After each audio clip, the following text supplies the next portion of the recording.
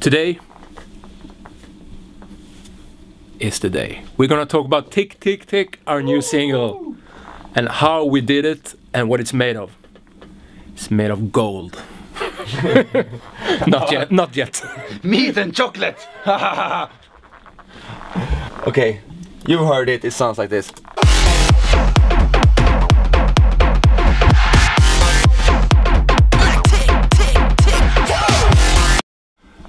And it's fairly basic.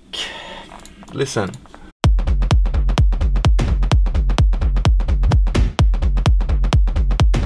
This is basically the groove through the whole track.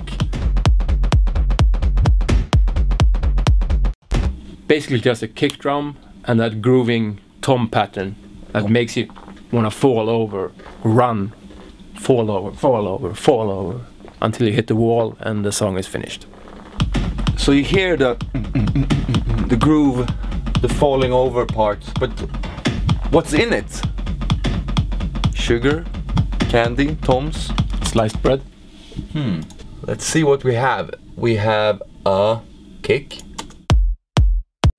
We have a bass. And the bass is kind of cool because it does actually the rhythm to it.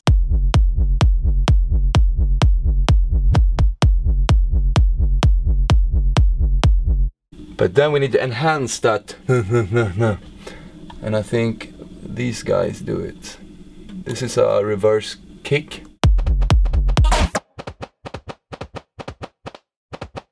And then we had some tablas. Yeah, and then we have the tom here, you can listen to it.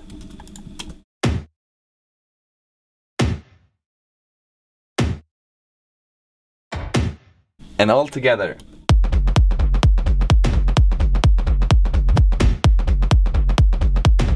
Kind of cool, huh?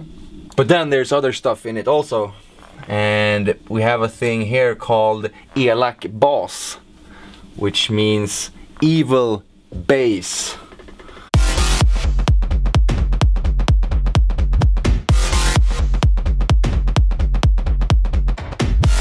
And then we have something called Rhythm Sap. This is mainly what, what we write to remember what we have on the channels. So You mean it's not the rhythm sap?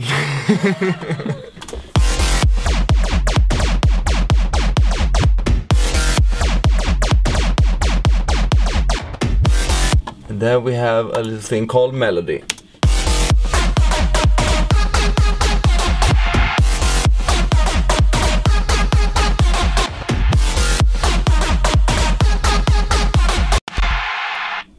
And in the break, of course, we have this very cool sounding baby.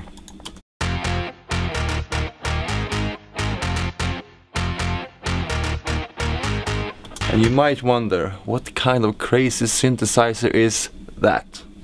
Well, it's a red one.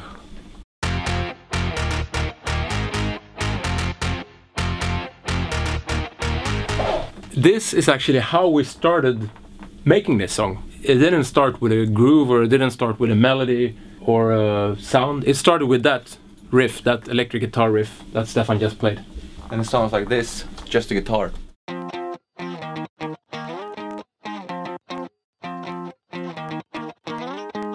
And then we added guitar rig.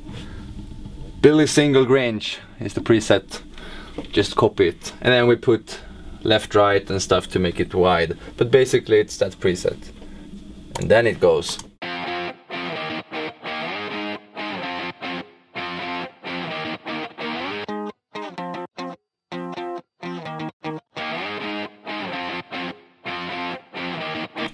And then we have a little, like a little um, bass underneath it to give it some bottom, a synth bass. But together, wow. Cheese and vanilla cream.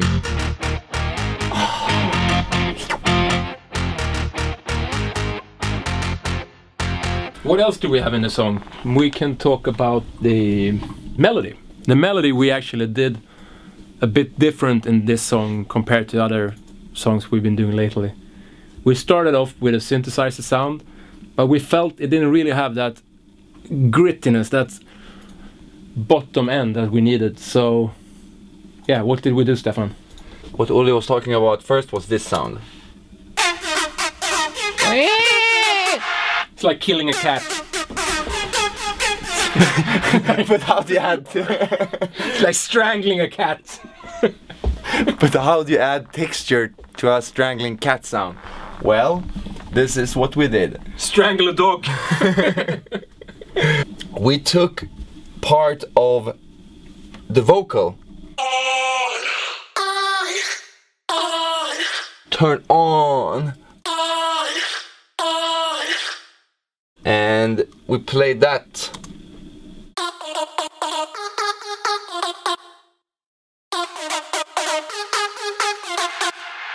Nice, huh? But the problem was that the on did kind of clash with the strangling cat sound. So we used the little AlterBoy to shift it down for semitones. And then they got married and lived happily ever after.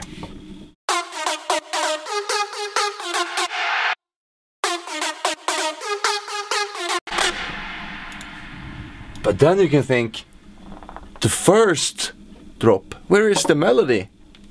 Hmm? Hmm? We did something in the first drop that we actually been talking about a little bit in this series. We used the reverb only from the melody and we're writing it with a volume envelope on top of the music to make it groove with the music. And we, that's something we do a lot of the times, but this time we actually muted the melody altogether. So it's only the reverb. Check it out.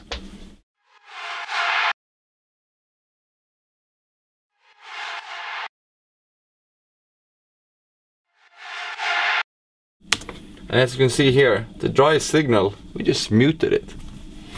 And together with the track, it's a nice...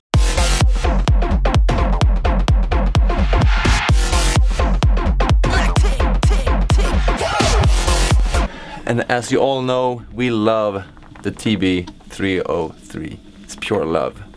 And we used it in this track. Again! Again, where is it? Where is the little silver box? That spoiled little thing. Oh, look at it. Just want to lick it.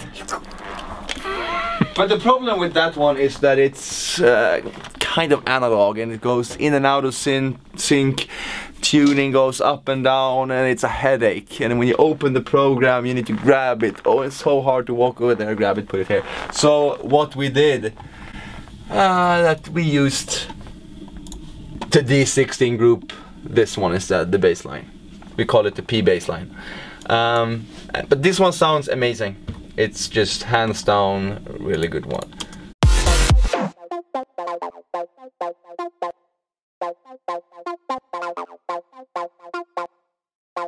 And here we just added some, uh, I don't know, tube, tube exciting, exciter on it to enhance the overtones, so it kind of sticks out in the mix a bit.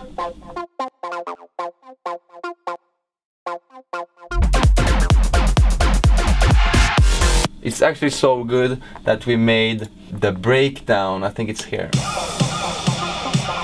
So you can hear it. Because sometimes in the groove and everything, it's there, but you can't really hear it. So in that build up, we said, let's just solo it there with just a snare drum. And it's the best part for me. You know which part is the best for me? It's the one Stefan removed. Just kidding. We're gonna talk about something. The rhythm sap sound we have in here. It's something we had like early on in the track. It's like not the first so- sound, but one of the first sounds we did. This sound. And it's so industrial and evil. It's like a, you know, something I would want to hear in a factory in 1982. And now I'm gonna remove it. I feel so empty.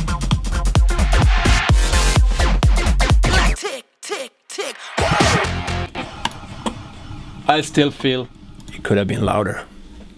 It's kind of a cool sound.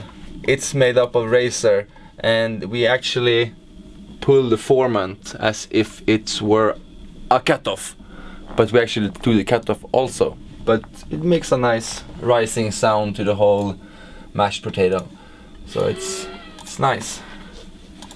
Tick, tick, tick.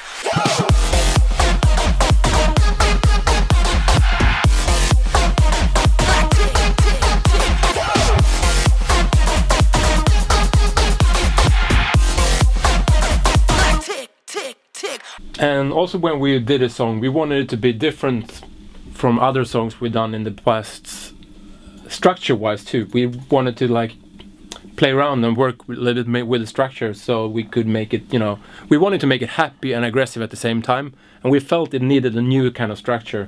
So it's compared to what we've done before. Like each section is way way shorter, so everything is happening like this, this, this, this, this, this. Ah! And you can see it. This is actually the whole track. Tick tick. And you can see the different parts go back and forth. Exactly the way Olle described it.